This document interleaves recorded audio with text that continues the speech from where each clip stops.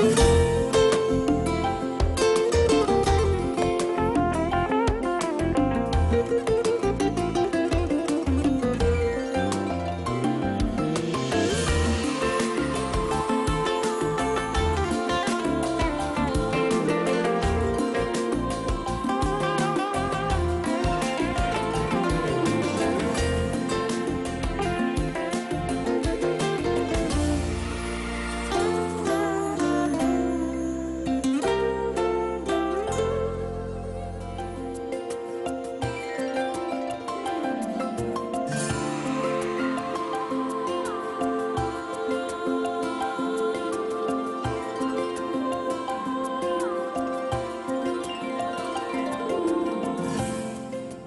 الرحمن الرحيم والحمد لله رب العالمين والصلاة والسلام على أشرف المرسلين سيدنا محمد صلى الله عليه وسلم وعلى آله وأصحابه أجمعين. السلام عليكم ورحمة الله وبركاته. مشاهدينا الكرام حياكم الله معنا في حلقة جديدة من برنامجكم قهوة الصباح. مع بداية الأسبوع إن شاء الله عندنا مجموعة من الفقرات وأيضا المواضيع. أتمنى يا رب أنها تنال على رضاكم وإعجابكم.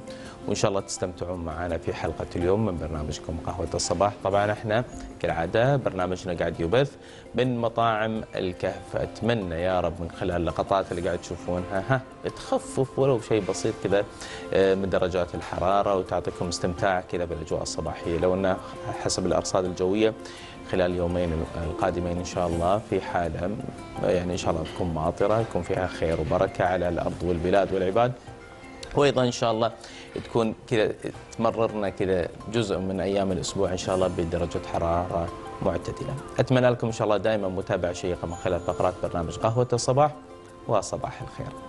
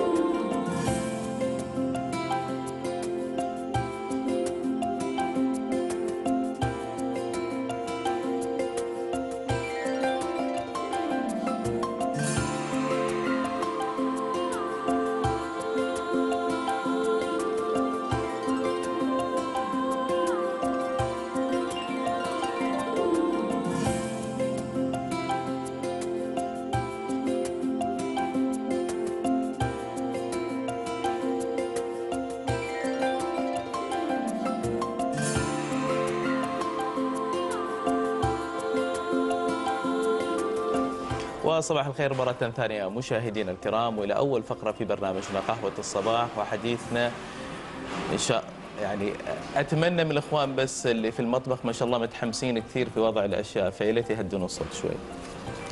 آه، في حلقة اليوم آه، إن شاء الله بيكون عندنا عدة مواضيع إن شاء الله تنال على رضاكم. فقرة العلاج الطبيعي اللي إحنا يعني حرصنا تكون لها مساحة من خلال وقت برنامج قهوة الصباح. دائما يكون معنا الأستاذ العزيز والغالي على قلوبنا وحبيبنا الأستاذ عمر بن فاضل آه، التميمي كبير أخصائي علاج الطبيعي بمستشفى جامعة السلطان فابوس حياك الله. الله يحييك. وزارة البركة. الله يسلمك. يا مرحبا الله ينور حياتك إن شاء الله. الله. آه، واليوم عندنا موضوع كثير مهم هو علاج آه، الطبيعي للجلطات الدماغية.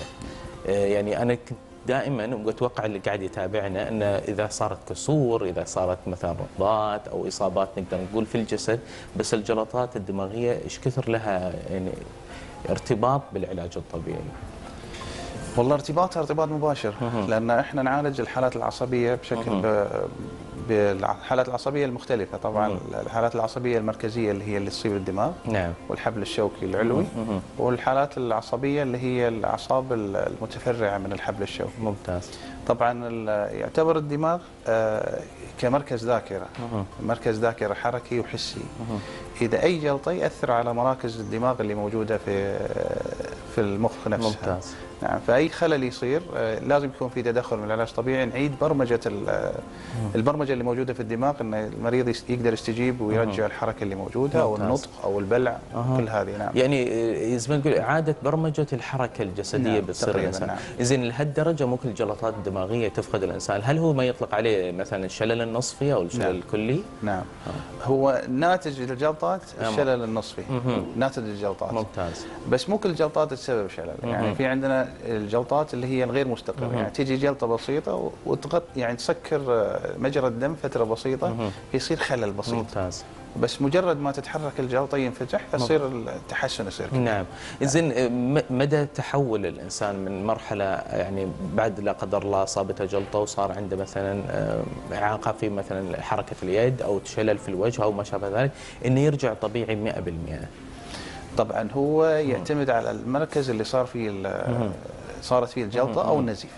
طبعا يختلف عندنا إحنا. إذا صارت نزيف صار نزيف آه، شوية المشكلة تكون أصعب شوي. نعم.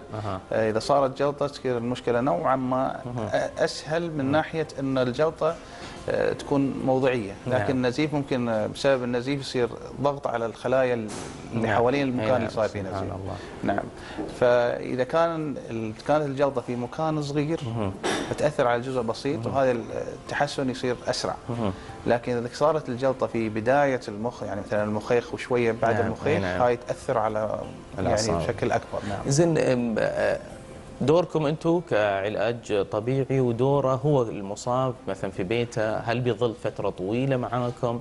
لازم يمارس بعض الرياضات أو التمارين مثلا داخل البيت ومدى أهميتها في نفس الوقت. طبعا إحنا نجزء البرنامج العلاجي إلى عدة أجزاء.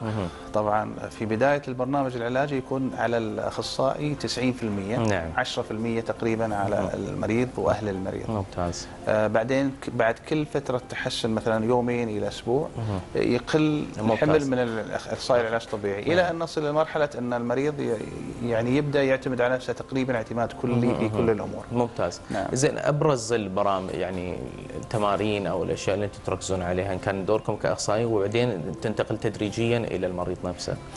أول شيء إحنا نعمل فحص شامل. نشوف أول شيء لازم نعرف المركز اللي اصيبت فيه الجلطه حلو. واصيب فيه الجلطه المركز هذا يعطينا آه، مقدار الخلل اللي حاصل في الجسم بسبب الجلطه هذه. بعدين نبني عليه برنامج العلاجي ممتاز. هو في الغالب إحنا نبدأ في أول شيء نبدأ في آه، إعادة آه، نقول توازن الجلوس بالنسبة للمريض لأن إذا ما عنده توازن في المنطقة اللي نعم. هي في وسط البطن نعم.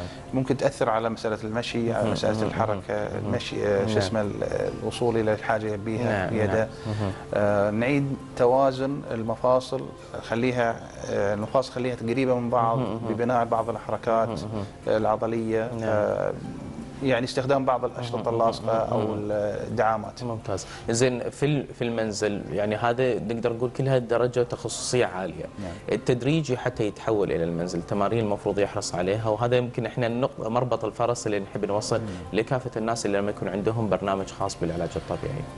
طبعا إحنا نفضل من أول يوم يكون أهل يعني أحد أقرباء المريض موجودين معنا من أول يوم. على أساس يعرف المريض أو المصاب آه، مقدار التحسن اللي حصله يوم عن يوم. ممتاز. آه، في بعض المرضى للأسف آه، أهاليهم يعني نقول إحنا يحابونهم زيادة عن اللزوم نعم. بحيث إنه يأثرون عليهم نعم. سلبا. أي نعم. وهذه إحنا بصراحة يعني نحاول نجنبهم. ممتاز. يعني لازم المريض لازم يكون في اتزان في العواطف لازم يكون اتزان في العواطف. نعم. يعني لا إنك يعني تتوكل بكل ال- المهام عنه أو إنك مثلا تخليه يسوي كل شيء لا طبعا نعم، صعب لازم نعم. يكون في توازن. مثل ما ذكرنا 10% على المريض و90% في البداية. ممتاز. بعدين يتجزأ تدريجيا. لكن في كل مرحلة من مراحل العلاج لازم المريض له جزء يعمله في البيت. ممتاز. لازم يعني. ممتاز. زين آه، هنا يمكن شغلة أنا أحب دائما أطرحها. آه، دائما إحنا طولة البال نعم. والصبر. يعني مثل هذا الحين اللي قاعد تقولي من 90 در- آه، بالمئة بعدين بيتحول هذا محتاج وقت. مو خلال شهر أو شهرين يبغى له فترة زمنية على كل حالة يعني. أنا نعم. ما بس قاعد أعطي كأمثلة بس. إيش كثر مهم أهل المصاب والمصاب نفسه لازم يكون عنده صبر وطولة البال؟ لأن في بعضهم يقول لك ها سويت التمرين واحد اثنين ثلاثة ما ما حسيت بفرق. نعم. كيف ممكن هذا المفهوم نصحح إحنا؟ شوف هي في نقطة واحدة. دائما المصابين بالجلطات الدماغية وحصل عندهم شلل. نعم. ما يتقبلون أي شيء من اهلهم أها. لازم يكون في طبيب لازم يكون شخص مختص. آخر. أي نعم. يعني حتى لو صديقهم. يكون قريب منهم مثلا يحكي لهم يعني يقول لهم اعمل كذا ولا اعمل كذا. إيه. يتقبل. لكن من ابنه أو بنته أو زوجته أو مثلا إذا كانت امرأة زوجها تلاقيه يعني ما يتقبل منه بشكل نعم. مباشر. فإحنا نحاول نوضح لهم الموضوع هذا. آه، نشرح لهم إنه حتى لو ما تقبل منكم أنتم حاولوا بس بطريقة أخرى.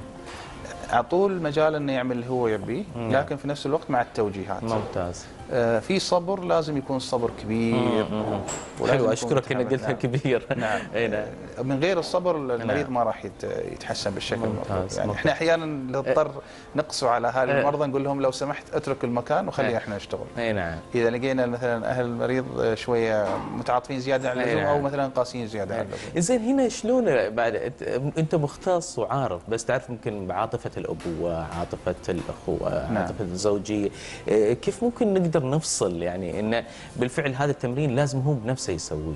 آه، بدون ما أنا أقدم له المساعد بس تعرف خاصة إذا كان أم أو ولدها لا قدر الله المصابة هذا بكل بالنسبة للإصابات العامة يعني. آه، وتشوفه يعاني عشان يسوي هالشيء خلاص أزل أنا بجيب لك إياه. كيف ممكن؟ والله هذه عاطفة بشرية الله إيه. سبحانه وتعالى خلقها إيه. بالانسان يعني إحنا عندنا زملائنا. آه، يعني أحد الزملاء حصل لي يعني أحد الأقرباء عزيزين عليهم. حصل له نفس المشكلة تقريبا أو المشكلة شبيهة. فتحس إن مخه تعطل. وصار عاطفي زيادة عن إيه اللزوم. نعم. بس إحنا مسكناه طبعا وقلنا له إنه لا المفروض لازم يأخذ الموضوع بواحد واثنين ثلاثة نشرح لهم لصالحه يعني في النهاية. إحنا شو نسوي؟ طريقتنا إحنا نجيب أول شيء طبعا آه، المجسمات نشرح للمريض وأهل المريض نشرح لهم بالضبط إيش اللي حاصل نعم. معهم وإيش التطورات اللي ممكن تحصل.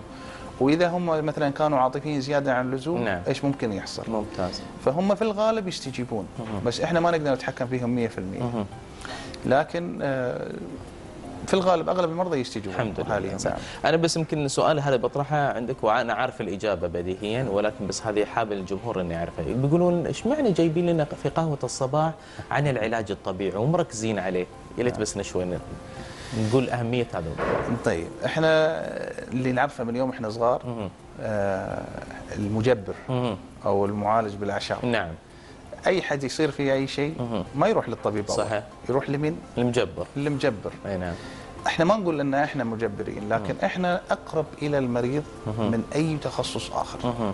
بحيث إن إحنا نجلس مع المريض فترة طويلة. أي نعم. ونشرح له وناخذ ونعطي معاه لدرجة إن بعض المرضى حتى مشاكلهم الشخصية يطرحونها علينا.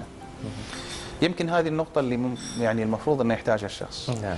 آه، النقطة الثانية إن إحنا نشتغل على ال ال نقول الجهاز العصبي الحركي بالنسبة للمرضى أو الناس كلهم، ما نقول المرضى نقول الناس نعم. كلهم. نعم.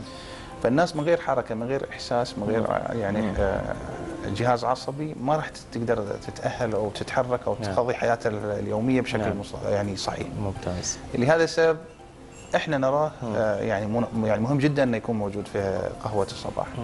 غير كذا إن مهنة العلاج الطبيعي الآن بادية تأخذ آه، حيز كبير في المجتمع.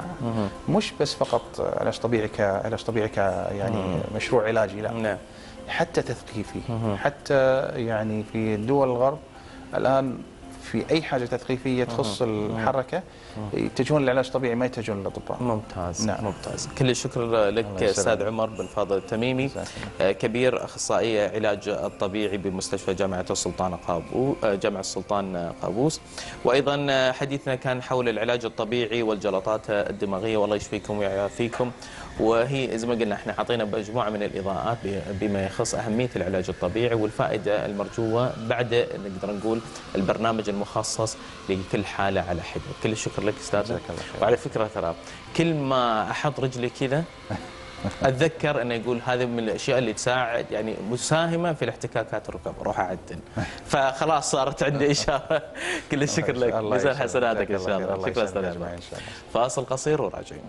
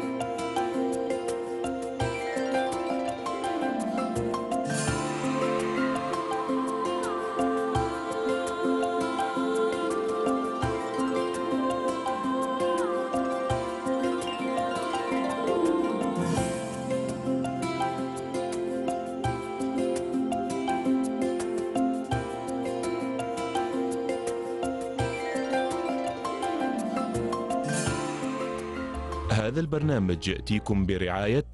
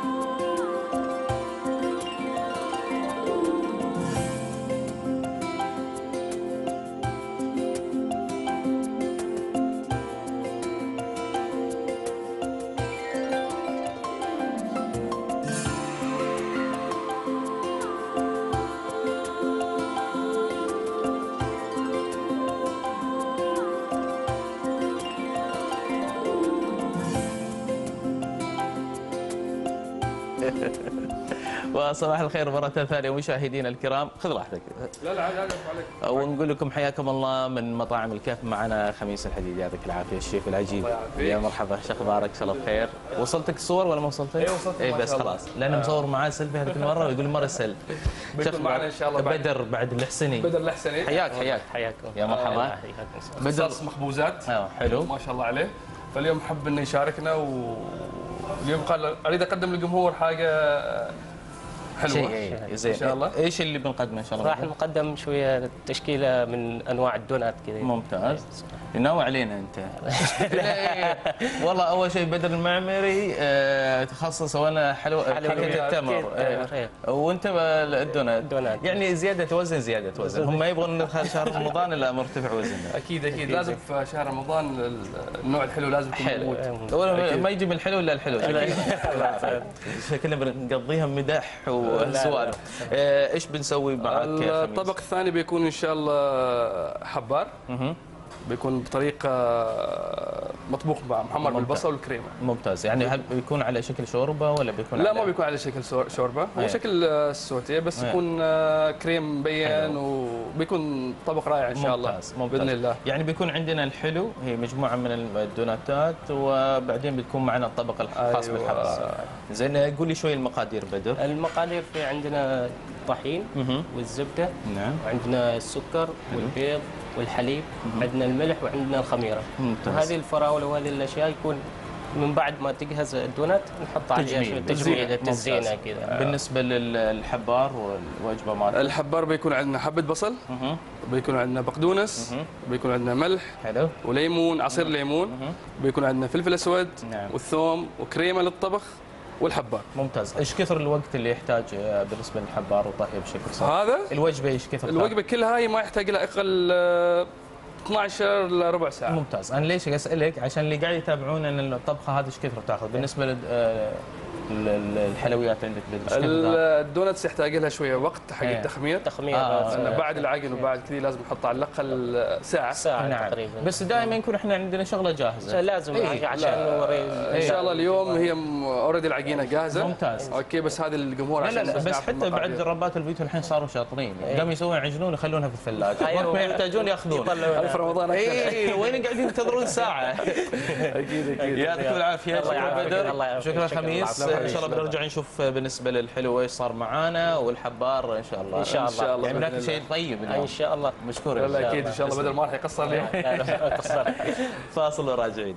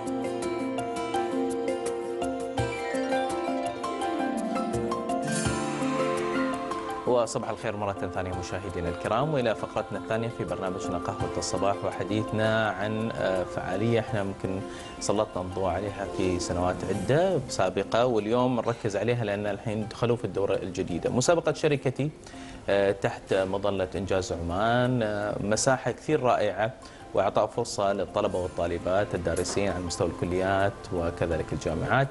لدخول عالم ال- الاقتصاد وكذلك التجارة. من خلال المسابقة هذه كل فريق عمل مكون من طلبة وطالبات لمشروع معين يختارون يعني براند اسم لشركتهم.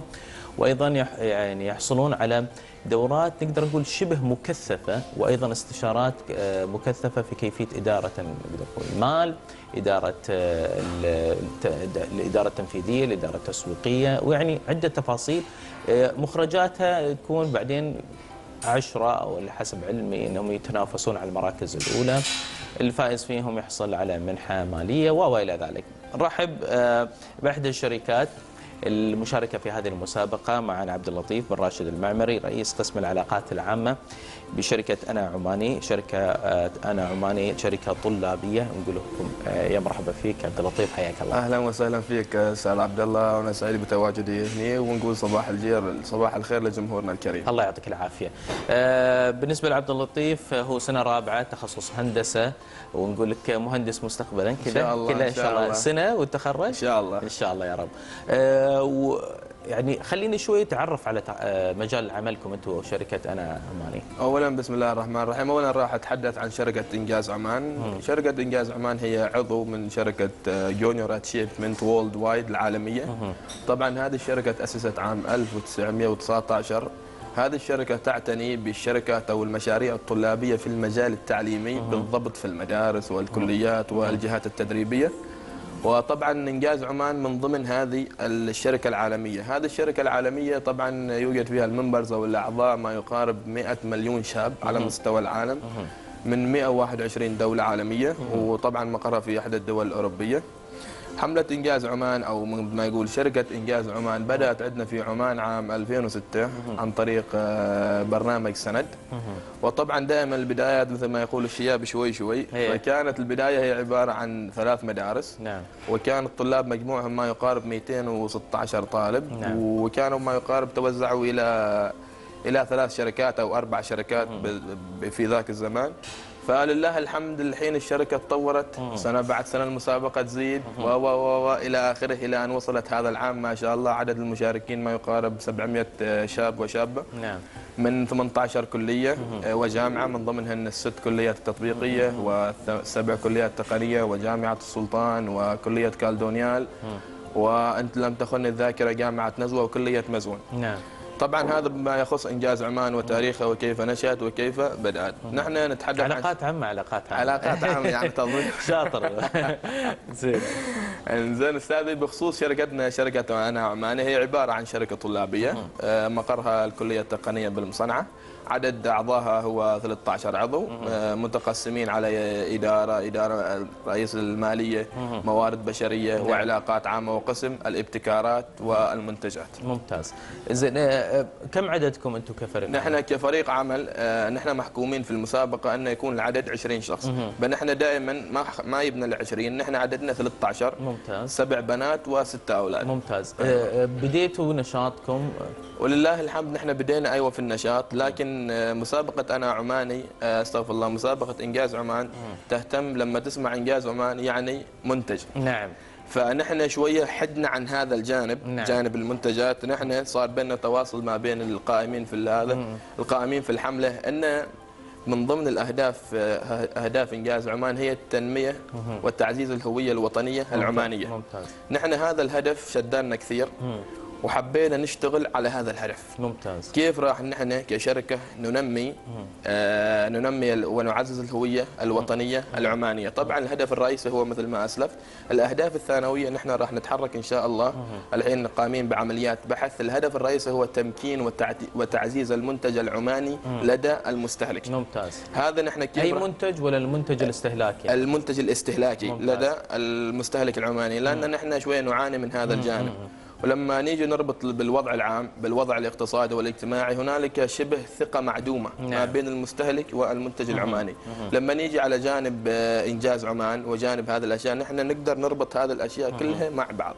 فالحمد لله عمليات البحث جارية وبالتعاون مع المؤسسة العمانية للمؤسسات الصغيرة والمتوسطة.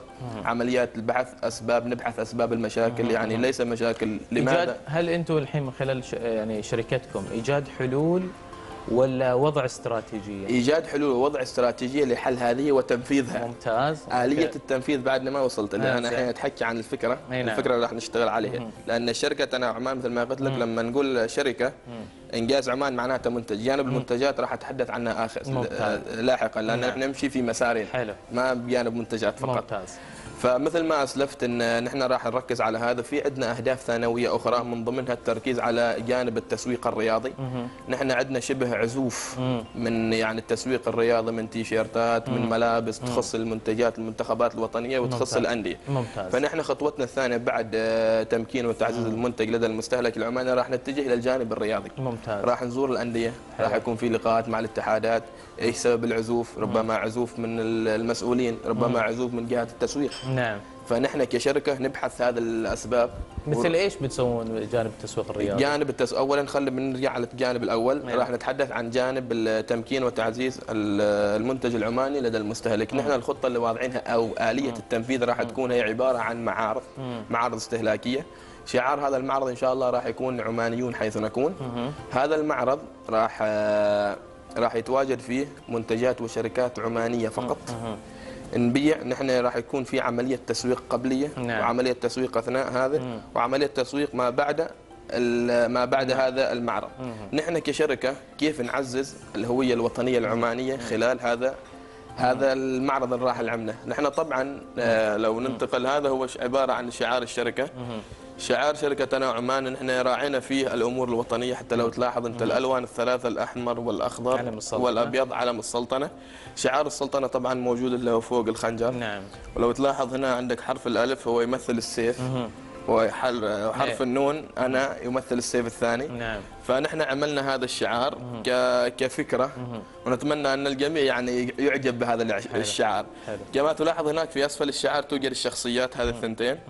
اللي هم شخصية علاوي وشخصية مريومة هذه الشخصيات نحن راح ليش نعمل خليتهم أطفال يعني؟ ها؟ هل بتخاطبون الجيل الأطفال؟ لا؟ ال- الخطاب دائما الطفل لما يجي يخاطبك طفل الطفل يشدك. الطفل يشدك أكثر نعم. ويستهويك والطفل دائما ما يعرف بالص- بالبراءة والصدق فأنت لما تشوف طفل الشيء يعني يشدك ففرق لما تحط ولد شاب أو شخصية شابة شوية ما تكون يعني ما الكل يميل لها كثر إنك تحط ممتاز. أطفال. هذه شخصية علاوي مثل ما تقول إحنا مثل ما تشوف إحنا ركزنا دائما مثل ما أقول على الألوان العمانية اللي هو الزي العماني واللبس والألوان مثل ما هي واضحة. آه، ألوان عمانية بحتة. طبعا هذا الزي الثاني أو الشخصية الثانية اللي هي مريومة. حبينا نضيف شوية اللون الأصفر لأن تعرف شغل بنات وشغل هذه الأشياء نعمل شوية شيء اتراكشن يعني. ممتاز. أيوه. زين أنا يمكن شادني نقطة وهي عملية الجانب الرياضي. أيوه. يعني كيف بتسوون عملية تسويق رياضي؟ عمليات تسويق رياضي. بشيء يذكر يعني أنا هني البرشلونيين آه، بالفوز اللي تم بالأمس. لازم له حراق يعني. وفوز يستحق لو اني أنا يعني مدريديين إيه. مدريديين مدريديين. ولكن يستاهلون يستاهلون زين اولا راح أنهي نقطة الم- المعرض وكيف أنا راح أسوق. لما أجيب أنا هذه الشركات أنا راح أشترط على كل شركة تبيع أي منتج أو أي منتج هناك يباع راح يكون في sticker خاص بالشركة. ممتاز. ال sticker هو شعار الشركة.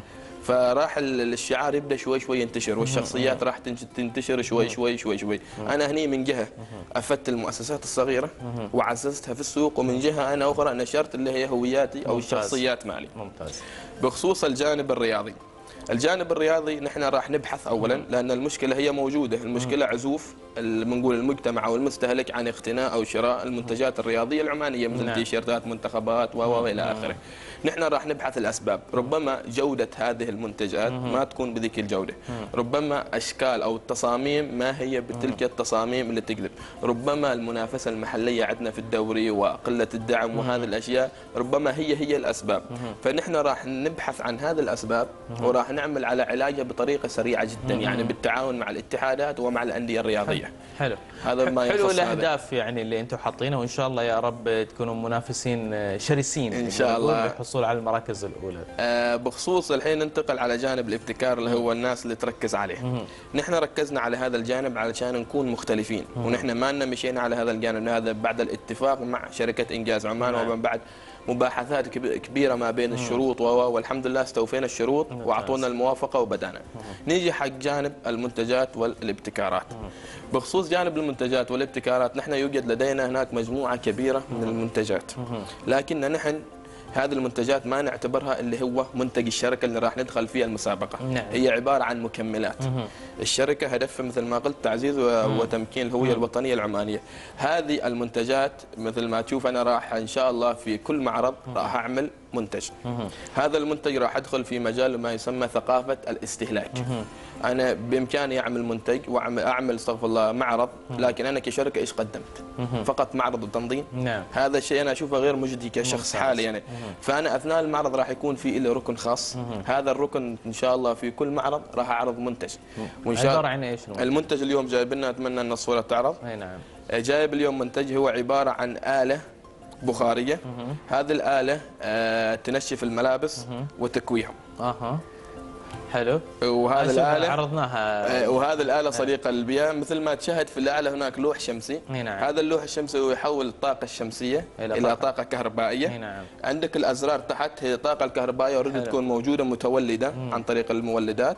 والبطارية تكون مشحونة. ممتاز. فأنت تضغط الزر تشغيل آلة البخار على طول تشتغل. فيصعد البخار فوق مع قوة الدفع مع الهواء. فينزل الهواء من فوق على الملابس. حلو. فالملابس تجف بعد ذلك في تحت موجودة المكواة. فقط أنت انزع المكواة واكو أنت واقف. ممتاز. هذا هنا الجانب الهندسي بدا يشتغل. هي الجانب. هذا أحد المنتجات. اللي راح نشتغل عليه إن شاء الله في المعرض الأول لكن هذا ما يعتبر اعيد واكرر هو منتج الشركة. نعم. الشركة هدفها آه، من عندكم. أكثر من مسار. أيوه لكن هذه المنتجات عملناها فقط كترويج لي. بصراحة أنا ممكن بقدم لك تحية أه. وأقدم تحية لفريق العمل اللي هم خلوه المتحدث الرسمي رئيس قسم العلاقات يعني شوف من من أول من بدينا ترى هذا مو هلمة عندنا إحنا عدة مسارات. عندنا أرضية عندنا ورق. لا لا لا شكلكم بتنافسون بقوة عبد اللطيف. عبد اللطيف أنا سعيد كثير أن أجري معك هذا الحوار. أتمنى لك إن شاء الله التوفيق. أنا بقدر الإمكان حتى حاولت أن أقلل الأسئلة عشان أعطيك فرصة تروج لمشروعكم. إذا تحب تقدم تحية لزملائك زميلاتك معك. والله اولا أحب أقدم تحية حال زملائي كلهم الطاقم فردا فردا نساء وبنات. وكذلك أحب أقدم تحية حال مصمم الشعارات ومصمم الأخ المعتصم السكيتي. وأقدم تحية حال زملائي على رأسهم الر- الرئيس عماد الحراسي وأحب أشكرك أنت شخصيا يعني وأشكر الطاقم الاستاف قهوه الصباح. على إعطائي هذه الفرصة للحديث عن الشركة ومنتجات الشركة وأهداف الشركة ورؤى الشركة. وجزاكم الله خير ومشكور على هذا الروح الطيبة يعني. تسلم تسلم يا عبد اللطيف. يعطيك العافية. وللعلم ترى إنسان مسرحي هو. فضحنا.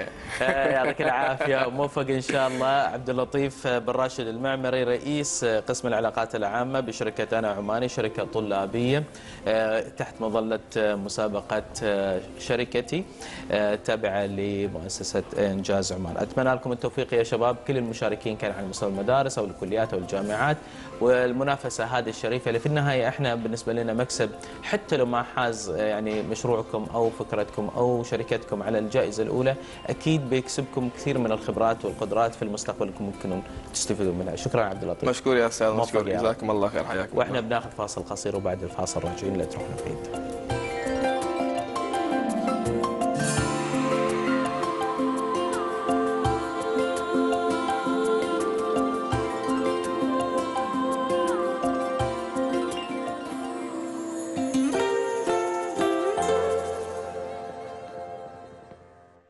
قد يبتلى الإنسان بمرض أو نقص في قدراته المختلفة لكن ذلك بلا شك لم ولن يكون عائقا أمامه للعيش بصورة تجعله فردا مهما في المجتمع. طلاب الدمج الفكري هم أحد النماذج التي تعد مثالا على ذلك فها هم يشقون طريق العلم بكل سعادة. مستغلين بذلك قدراتهم التي أودعها الله فيهم ليصلوا بذلك إلى مرحلة التخرج التي ستفتح لهم بابا من أبواب العيش السعيد. تم دمج الطلاب في صفوف الدمج عندنا في المدرسة في مهارات معينة. من ضمن المواد اللي تم دمج الطلاب فيها مادة المهارات الحياتية ومادة الرياضة المدرسية ومادة الفنون التشكيلية ومادة المهارات الموسيقية. تم آه، أخذ الطلاب في هذه الحصص بتواجد معلم مشرف من قبل الدمج الفكري في هذه الحصص وتعليم الطلاب بعض المهارات. حفل التخرج حوى العديد من الفقرات التي عبرت عن أهمية هذه الفئة في المجتمع من جهة والجهود المبذولة من قبل السلطنة من جهة أخرى كما عبروا أنفسهم عن سعادتهم الغامرة بهذه المناسبة. درسنا خم عربي ورياضيات وعلوم وإنجليزي آه، وموسيقى. أنور بن زاهر الغريبي محافظة البريمي.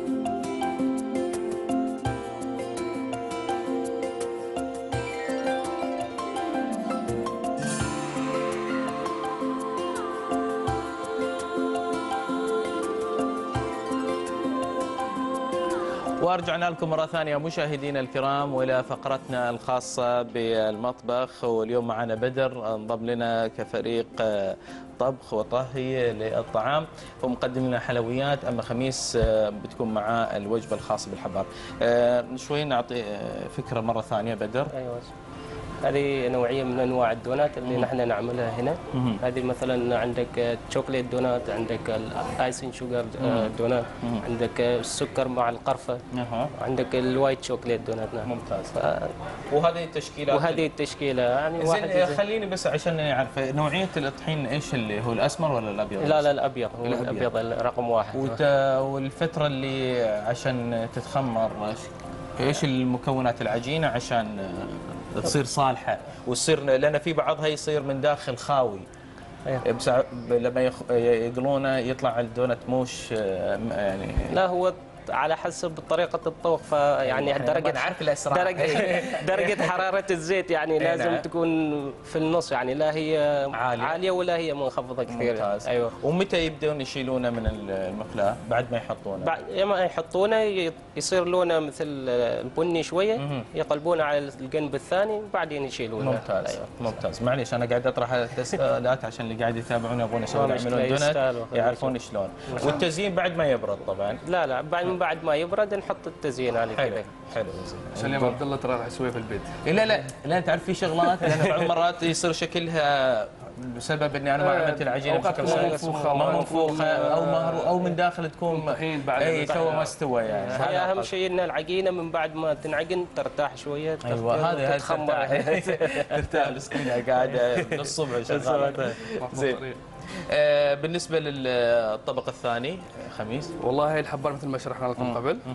اللي هو الحبار ومع البصل والثوم والليمون وزيت زيتون شوية زبدة. نعم.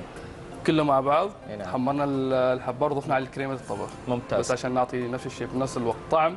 حلو. ولون. ولأن الكريمة مع الليمون تعطي مذاق يعني. مذاق حلو حق الأكلات البحرية زين في بعضهم يعانون مثلا لما يأخذ الحبار من المحل أو من السوبر ماركت أو حتى من الصيادين الله يعطيهم الصحة والعافية جميعا آه آه شوية الزفارة كيف يتخلصون منها؟ والله يعتمد الزفارة. هي. الزفارة إذا أنت شفت إن قوة الزفارة فيها كثير تسلقه مع ماء ساخن آه تسلقه نعم. وتحط له شوية ثوم آه. أو شوية خل إي نعم عشان ريحة الزفار هاي تطلع حلو وبعدين إيش كثر؟ أنا شو قاعد أسأل؟ لأن اللي قاعد يتابعونا الحين من داخل خارج السلطنة يعرفون. والله ما يحتاج تسلقه كثير. آه ممتاز. يعني حده 10 دقائق ربع يعني ساعة خل. وماي آه، شو- وشوية ثوم. وشوية ثوم عشان يطلع بس. اي يطلع شو اسمه وبعدين آه، خلاص. حلو. تشيل منه الماي.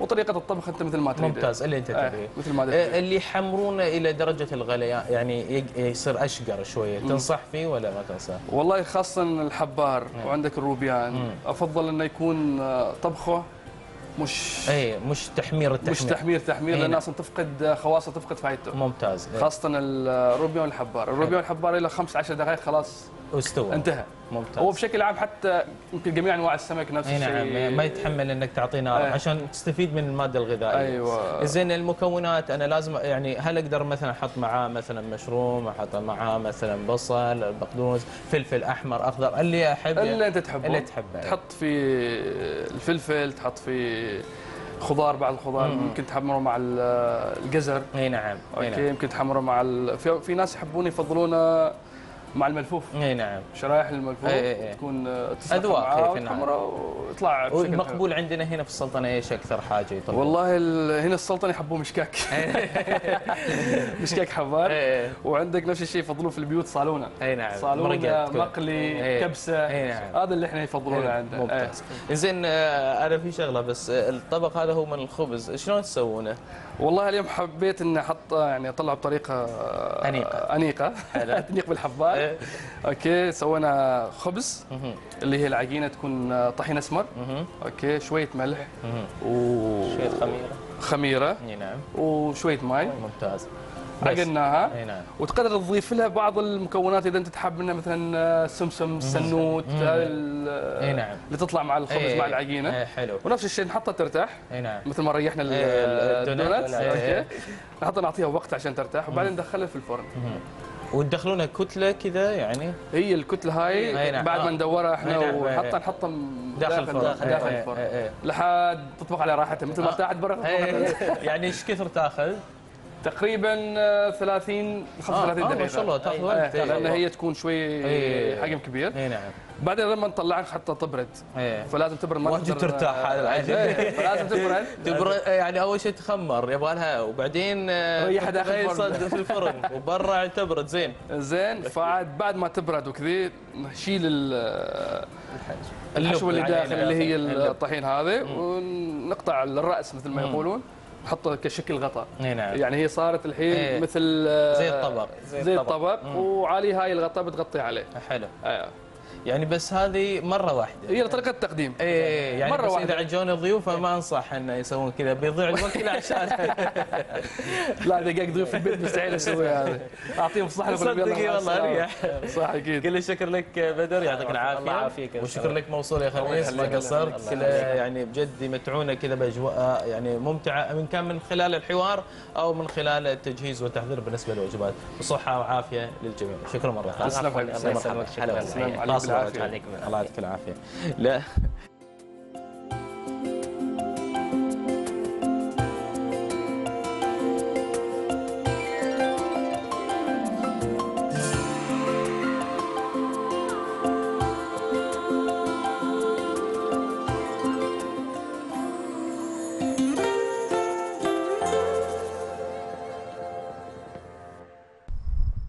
يضم المغرب أكبر مساحات من غابات الأرز بين دول حوض البحر المتوسط تمتد على 134 ألف هكتار وتسعى السلطات منذ سنوات لحماية هذه الثروة المهددة بفعل التغير المناخي والنشاط البشري.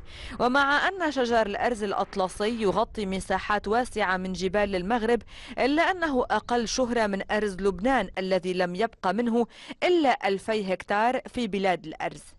في المغرب يعتبر الأرز كنزا وطنيا فهو من جهة عامل جذب سياحي ومن جهة أخرى هو مصدر رزق للرعاة وقطعانهم كما أن خشب هذه الشجرة يحظى بتقدير كبير من قبل صانعي الخشب.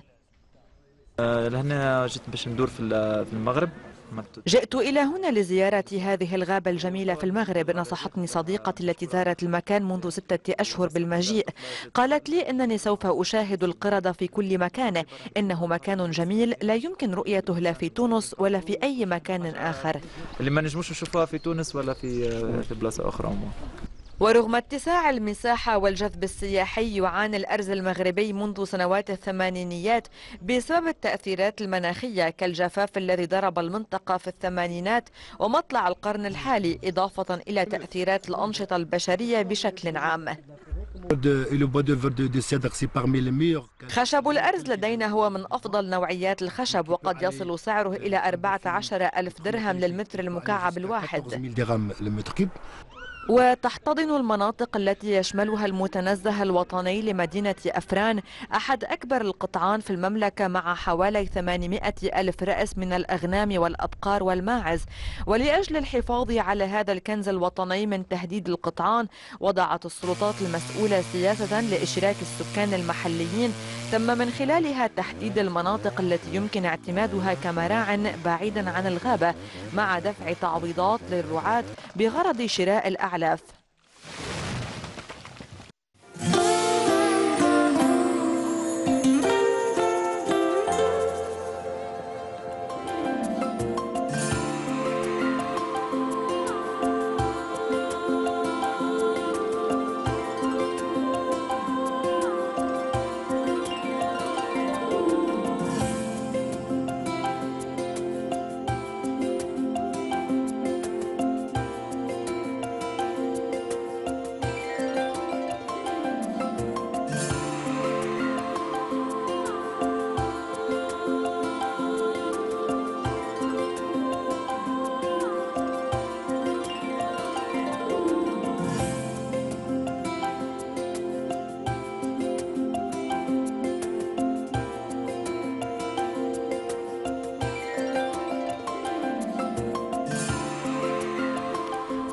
لكم مرة ثانية. مشاهدينا الكرام وإلى فقرتنا الثالثة في برنامجنا قهوة الصباح وحديث عن الجانب التربوي.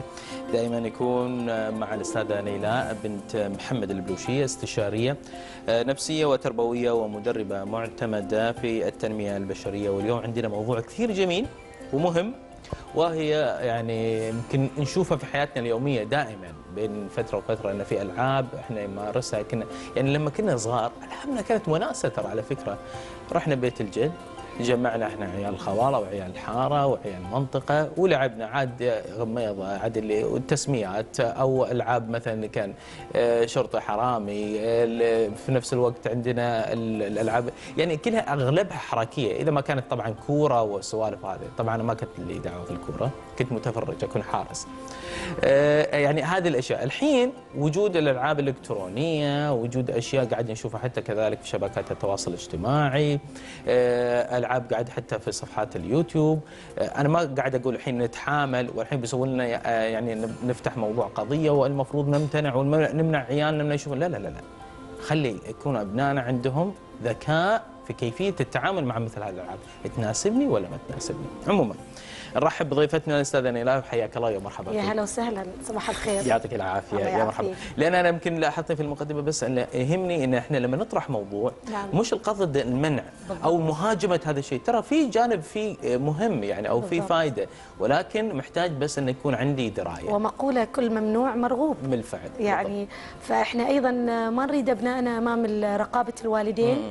يعني يمارسوا نوع معين من الألعاب ولكن عند غياب الوالدين نعم. وغياب ال- المراقب الأخ الكبير أو إيه. الأستاذ أو إيه. غيره مثل ما نقول خلاص يعني يعمل اللي يريده حد لا خلينا نشيل كلمة حتى مراقب نقول المحب بالضبط. أيوه نعم. أحسن. لأن المراقب يحسس إن أحد قاعد يتابعه زين. صحيح بالضبط. آه، طبعا تفضلت بمقدمه رائعة جدا. يعني زمان كان ال- الأطفال يلعبوا الألعاب اللي توارثوها من الأهل ومن أجدادهم آه، مع آه، عيال يعني أقرانهم. سواء كانت في في البيت نفسه من الأهل من الجيران يعني تقريبا نفس المجتمع. نعم. الآن أصبح العالم مفتوح أمام أبنائنا. وبسهولة جدا ممكن أن يتصل مع أي فرد من العالم. بسهولة جدا يعرف ما هي الألعاب الموجودة في العالم الآخر صحيح. أو من الجهة الأخرى من الكرة الأرضية. حتى في يعني مثلا جنسيات مختلفة تماما. هذا التبادل المعلوماتي والآن يعني ما نقدر نمنع أبنائنا منه. أكيد أنه هو بالعكس هذا من باب أيضا الثقافة والتعرف على الآخرين أنه يعرفه. لكن يجب أن نتعلم ونعلم أبنائنا كيف ينتقل مناسب ممتاز لأن فعلا هناك من يدس. بعض الأمور في بعض الألعاب ال- الهدف ممكن ممكن يكون تجاري. آه ممكن يكون أهداف أخرى الله أعلم يعني إذا نعم. كانت هناك أهداف خاصة مم. يعني تربوية سلوكية وما إلى ذلك أو فضاوة وفضاوة لا. عمل قاعد فاضي وسوى له. مشروع آه. وللأسف وجد من وجد الجهة الجهة اللي هي تستقبل نعم. ويعني تستجيب لهذا الشيء اللي انت عملته. فأفضل طريقة أو دائما ما نقول لا تمنع أبنائك نهائيا.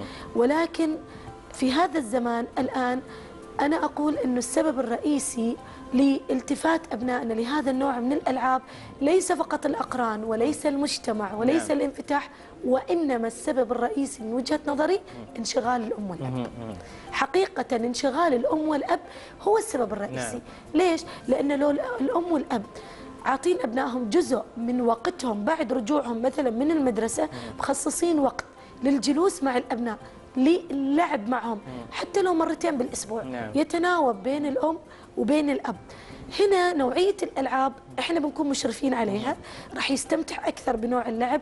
ما راح يبحث عن قرين آخر ما راح يبحث يبحث عن لعبة يمكن أخذها من أحد وما عارف إيش مضارها وغيره ولكن انشغالنا بسبب يعني ما أعرف أقول يعني لو كل واحد فينا يراجع نفسه كم يوم أنا أقعد مع أبنائي كم ساعة باليوم جلوس فعلي.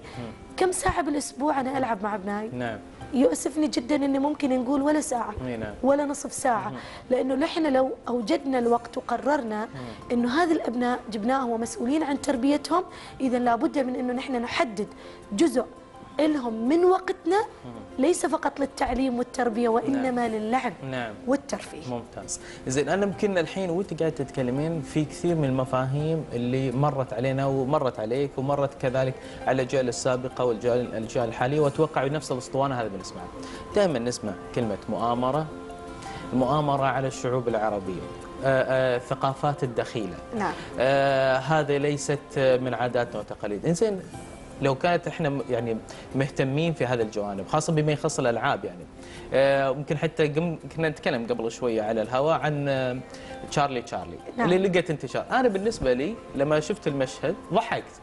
صحيح. جد جد يعني ضحكت. يعني قلت وحسيت شيء من ال- ال- الطفرات اللي تطلع فجأة وتختفي فجأة. بالضبط. آه، اللي فاجأني إن ردود الأفعال اللي صارت على مستوى الو- الوطن العربي بصورة بالضبط. عامة وأيضا على مستوى كذلك إن المراهقين كانوا هم اللي يحاولون يلعبونها ويسوونها. نعم. كنت أقول يعني اسمحي لي بس أنا أقول هالمقدمة إن إحنا لو مجتمعاتنا نترك هذا المفهوم اللي إحنا تعودنا على الأسطوانة عليه إن مؤامرة ير- يريدون يهدمونه بالضبط. بابا أسس بيتك عدل. نعم. ما حد يقدر يدخلك وحتى وجهة كحل- نظرك كتربوي لا كان. فعلا. أنا وجهة نظري كتربوي طبعا في ناس كثير سالونا عن هذه اللعبة. كيف أنا ممكن أحل هذه المشكلة؟ قلت لهم الانفعال وردود الكلام السلبية على اللعبة عمرها ما راح تحل نعم. المشكلة. لأنه بيحس فيه سر موضوع بالضبط. ليش يعني من باب. الفضول نعم. خاصة لما تقول له لعبة متعلقة بالجن بيقول لك أنا طفل أو في هذا السن المراهق أستحضر مثل هذه الأمور؟ ليش لا؟ إيه. أنا أريد أجرب. إيه. ويثير الفضول أنه هو يلعب أكثر. هنا الحل المناسب جدا لمثل هذا النوع من الألعاب الحوار المناسب. طيب كيف تخلي في حوار مناسب؟ أنت أول شيء اسأل ابنك. ما تجي على طول. أنت سمعت عن هذه اللعبة؟ يا ويلك إذا تلعبها. أو تقرب عليها. أو هو أصلا حتى إذا ما كان مقرر يفكر. بيفكر إنه إيه. يلعب ليش أمي مهتمة؟ إيه. ليش والدي مهتم؟ إيه. في سر. طيب اذا الحين أقول له حاور. فأسأله إذا قال لك يعرف أقول له طيب تعال وريني. كيف تلعبها؟ أخليه ينفذ لي إياها. وأجلس معاه نتحاور وهو ينفذ. وهنا أبدأ أثبت له كيف إنه هذه اللعبة أصلا ما فيها شيء من الصحة وإنها ما مهمة وهذه فقط تضييع للوقت. ويعني نبدأ نفهمه أيضا المفهوم الصحيح اللي يبعده عن الشك ويعني لا قدر الله إذا كان يدخلوا في موضوع الغيبيات. نعم. ويعني تعرف إنه الإنسان لما يبحث عن الغيبيات ممكن يدخل في الشرك وغيره. نعم. فأنا لما احاور اخليه يجيب لي. وتلاقيه إذا كان عنده خلفية بيبدأ يشرح لك ويرسم اللعبة. نعم. ويبدأ يقول لك طيب بسأله سؤال. الحين ليش مثلا تحرك القلم؟ فتجد أطفال يقول لك هذا كله كذب. أصلا القلم يتحرك بسبب الجاذبية. لدرجة إنه هو ما يتحرك إلا لما أسأل. يعني لما أتكلم نعم. وأصدر الصوت في هواء يعني والقلم ما يبقى مستقر نعم. إنه راح يتحرك. لكن المهم هنا إيش اللي يصير؟ مثلا لو هو سأل سؤال. وسبحان الله تحرك القلم ناحية نعم. نعم. يعني مثلا هل بكرة بيحضر بتغيب المعلمة الفلانية؟ وقال القلم نعم. فجأة الطالبة راحت المدرسة والمعلمة غابت. نعم. هنا ممكن فعلا يبدأ الطفل يشك. صحيح. فيصير عنده نوع من الاهتزاز أو العقيدة عنده يعني فيها عدم يعني مثلا فيه نوع من التزعزع. هنا مشكلة.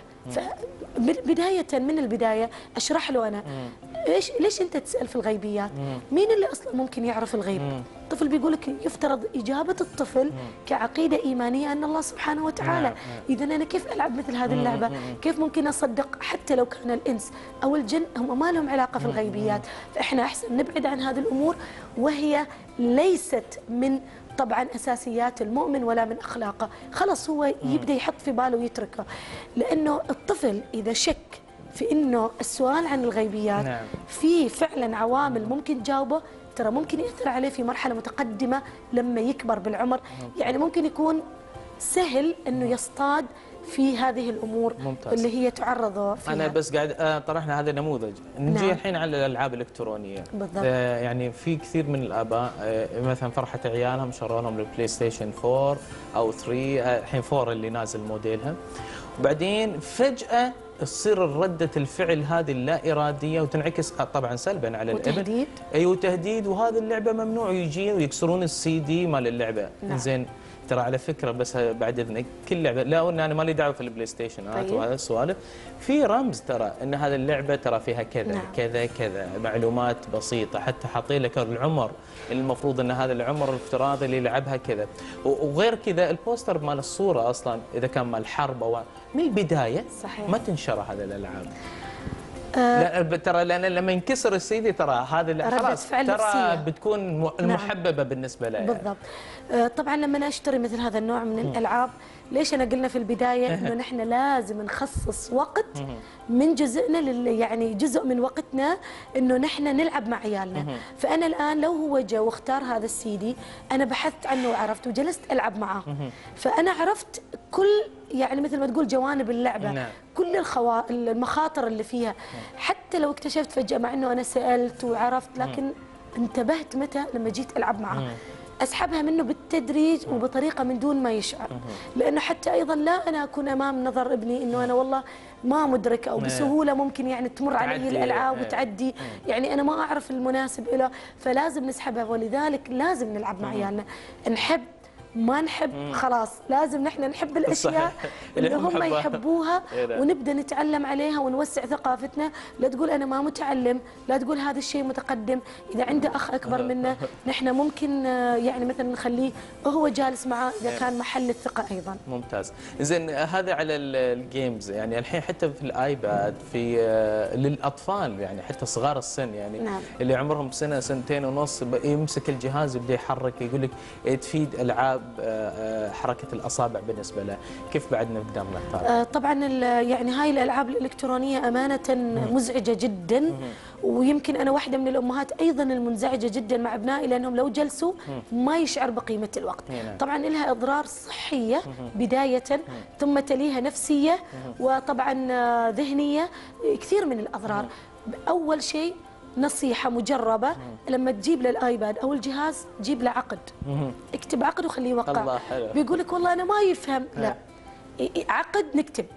نكتب ونتفق على البنود. نعم. الاستخدام في اليوم كم ساعة؟ في حالة العطل أنت بتصلحه من فلوسك. في حالة أنك ما سلمتني إياه في الوقت. ال- المفروض أنك تسلمني إياه راح نعم. تتعاقب أنك يوم بالكامل ما راح تستلم الآيباد. أي نعم. ولما تكتب هذه البنود ويخل هو بأحد الجوانب عاقبة. نفذ بالضبط نفذ. لا- لا- لأن في اتفاق. لأن في اتفاق. الحين هو إيش؟ راح يبدأ يعرف. طبعا أنا راح أقول له مو معناته حرمتك من هذا الجانب لأني مو أحبك. لا لأنه وقتنا ملكنا لأمور أخرى. وأبدأ أغريه وأعمل له يعني مثل ما نقول أصور له شيء جميل. نعم. أنا ممكن أشغله بالوقت. لكن مثلا الحين أنا لو جيت وتركت أولادي في وقت فراغ طويل ولا عندهم أي شيء يشغلهم نعم. والآيباد أمامهم شيء طبيعي راح يروح له. اذا ما معقولة أنت تطلب منه أنه يترك الأجهزة الإلكترونية والآيباد والكمبيوتر أو الألعاب الإلكترونية بشكل عام؟ أنت ما وفرت له البديل طيب يقول لك إيش البديل؟ والله الجو حار نعم. ما نقدر نطلع يلعب كرة ولا غيره. هناك ألعاب حركية وذ- وذهنية. نعم. يعني تنمي الذكاء آه، مثلا آه، تنمي عند الخيال والابتكار. الحين أنا لو سألتك سؤال من أي شيء وإحنا جالسين نعم. في البيت استغل أي شيء يمر أمامك. علاقة ملابس على سبيل المثال نعم. جاي يلبس الطفل كذا. لو مسكته وسألت أبنائك قلت له هذه إيش؟ بيقول لك هاي علاقة ملابس. ممكن تفكر لي إيش فوائدها؟ إيه. طيب كيف ممكن أنا أطورها على أساس إنها تعطيني فوائد أكثر؟ نعم.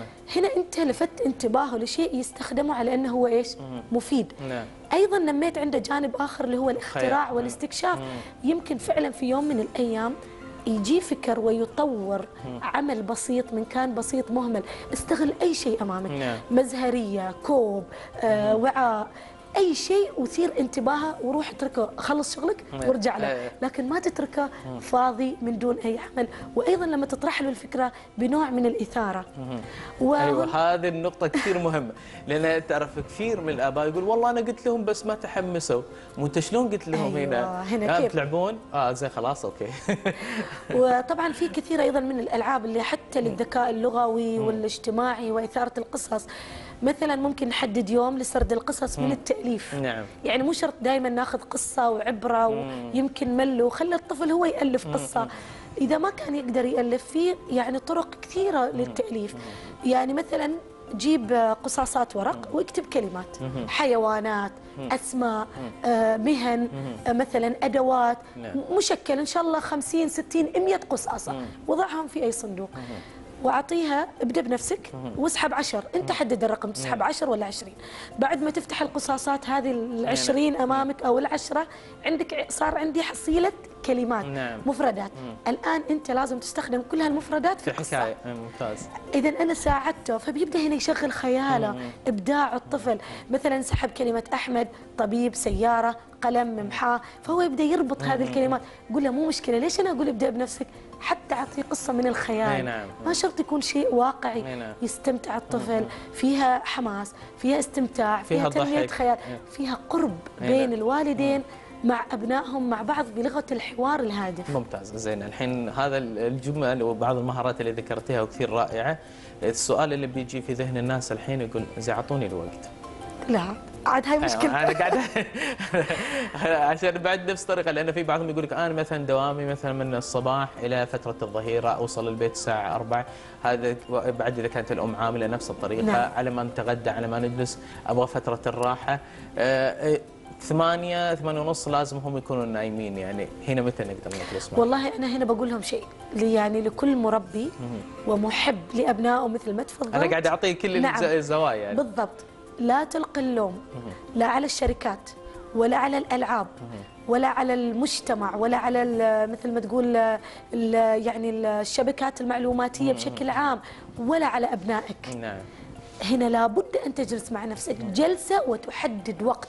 لأنك أنت الآن لا تعطيهم يعني الوقت الكافي ولا علمتهم ولا دربتهم ولا أعطيتهم البديل وبعدين يجي إذا ما يصير لابد يعني الناس اللي منظمة أوقاتها وتربي أولادها على أفضل تربية ترى يومهم 24 ساعة حالهم من حالك يمكن لهم 25 لا لا لا ولا 48 ولا 30 ساعة يعني هو يومه 24 ساعة وأنت يومك 24 نعم. ساعة راجع نفسك راجع وقتك أمانة اسأل نفسك كم ساعة تقعد على التليفون. في صحيح. مراسلات صحيح. قد تكون هادفة وقد تكون غير هادفة. غير هادفة نعم. قلص نعم. خلاص اغلق الإنترنت اغلق الشبكة وانت جالس مع ابنائك ركز. ابدأها بنصف ساعة. معقولة ما ممكن أجد نصف ساعة؟ أنا ما قال جالسه أقول كل يوم. إيه. الحين إحنا نقول له مرتين إيه. في الأسبوع. إيه. فيعني آه، هذه الأم... ونحن الأسبوع الماضي تكلمنا عن الإجازة الصيفيه نعم. واستغلالها. فأحد أسباب استغلالها تواجد الوالدين مع أبنائهم فرصة لتجديد الحب. والمشاعر وعلاج الكثير من السلوكيات اللي أنا لاحظتها على أبنائي وأنا أريد أرقيها وأنميها عن طريق الألعاب والحوار والجلسات والقصص.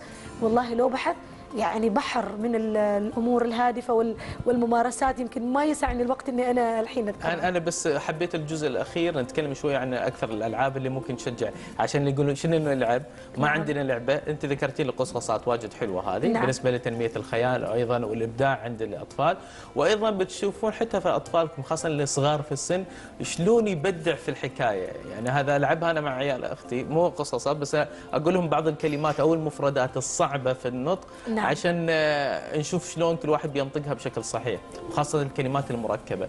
ففي متعة رائعة بصراحة. صحيح مو كل يوم عشان ما بقول مثالي ولكن حتى إذا صارت لي الفرصة ممكن ألعبها يعني نعم. معهم. لا جربوا لعبة القصاصات آه، جدا. حتى هناك يعني في بعض الشركات عاملتنها على شكل آه،. حجر النرد. آه، ممتاز. حجر النرد. فأنت ترمي حجر النرد وحظك. وإيش اللي في الواجهة هم تستخدمهم. لكن أنا ما بغيت أذكر على أساس أنه بيقول لك أنا من وين أشتريها. إي نعم. طيب ما نعم. موجودة. أنت تصنعها من قصاصات. الأوراق حتى شاركهم وأنت تكتب. من الألعاب اللي يحبوها الأطفال هذه مثلا لت- لتنمية الذكاء الحوار واللغوي والتحدث والثقة. الحركة. أبنائنا كثير يحبون الحركة. نعم صحيح. يعني إذا ابنك يحب التفكيك والأشياء يا أخي إذا عندك أجهزة قديمة ما عارف إيش تسويها آه. جيب له فرش له إيه. في البيت حط له الأجهزة إيه. والله قول له تعال نستكشف إيش هذا الجهاز فيه. فهذه الألعاب كثير يستمتعوا فيها. طبعا ما أتركهم بمفردهم لأنه يمكن يكون استخدام بعض ال- الأجهزة شوي فيه نوع من الخطورة لكن بوجود الأم أو الأب يكون موجود معاهم هذه تشعرهم بنوع من الاستمتاع. طيب نسألهم سؤال ونحن جالسين كيف يشتغل التلفزيون؟ نعم. كيف يشتغل إيه. الراديو؟ التليفون هذا كيف توصل لنا المسجات آه، يعني نثير انتباههم لأشياء موجودة في الطبيعة هي تنمي ذكائهم وخيالهم في نفس الوقت تفيدهم وتمدهم بالكثير من المعلومات ألعاب أخرى كثير يحبوها في الحركة؟ ألعب البحث عن الكنز. نعم. عاد هذه أعتقد بالذات الأولاد. عشق نتفق على حاجة معينة إيه. وأنا أعمل خطة بيصير بي- ممكن نتبع الخطوات إيه. أو ممكن أحط لهم علامات في المنزل. حتى لو بالصالة بس في مكان واحد وخبيها في مكان معين. قول له امشي مثلا خمس خطوات يمين إيه. بعدين أربع خطوات يسار وبعدين كذا واللي يوصل للكنز إيه. قبل. فبتجد هنا فيها متعة وفيها نوع من الحركة. فصراحه يعني محتاجين أبنائنا. إذا وفرنا لهم هالجو أكيد إنه ما راح بإذن الله تعالى يبحثوا عن البديل. زين أنا يمكن جت في, بالي خاطرة إن في بعض الآباء والأمهات الله يعطيهم الصحة والعافية إنهم يلعبون عيالهم عشان يلهون شوي عنهم يخلصون شغلهم طيب. يعني هم يخترعون لهم لعبة مثلا مثلا خاصه قلتي لي أنت الكنز يكون في شيء ضايع في البيت فتقول الأم الله فرصة خليهم هم هي لعبة وهم هم بيطلعوا لي إياها يعني مفتاح سيارة أي ولا ريموت إيه، أيوه التلفزيون دوروا لي عليه الإشكالية إن مثلا تلقى الأم مثلا قاعد تطبخ أو تجهز أو قاعد تحضر إذا كانت. عندها وظيفة نعم. أو شيء من هالقبيل أو كذلك الأب فيجون الأبناء آه ماما أنت وين حطيتي؟ يمكن في الغرفة.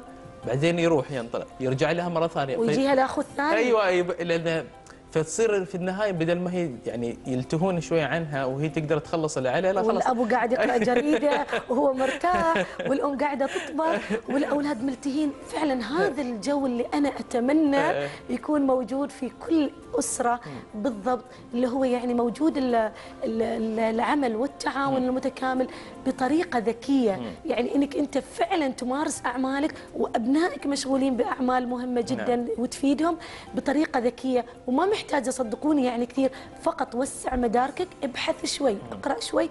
يعني على فكرة أنا يمكن الأفكار اللي جالسة أذكرها ما قرأتها في أماكن. نعم. قرأت أفكار مماثلة لكن لما جيت أطبقها جاتني أفكار جديدة. نعم. فقلت ليش أنا ما أطبقها بهالطريقة؟ ولذلك كل واحد منا يشوف إيش اللي يناسبه وإيش اللي مهيأ عندي من الظروف وابدأ أنفذ مع أولادك. والله بتجد نوع من ال- الحماس والصحة. حتى على فكرة على جانب الصحة المرض بيقل نعم. الثقة بالنفس بتزيد وراح راح يلاحظون هذه الأمور. وطبعا الشجار نعم. من بينهم راح يقل لأن في أمور كثيرة تشغلهم.